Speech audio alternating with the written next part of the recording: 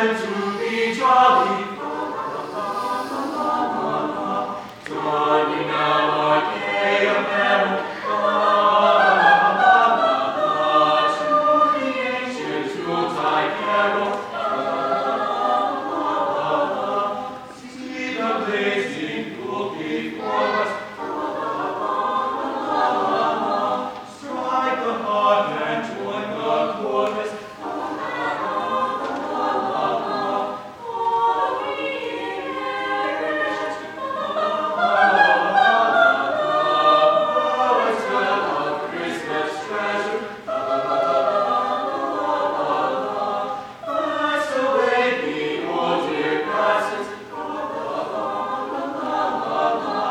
Yeah.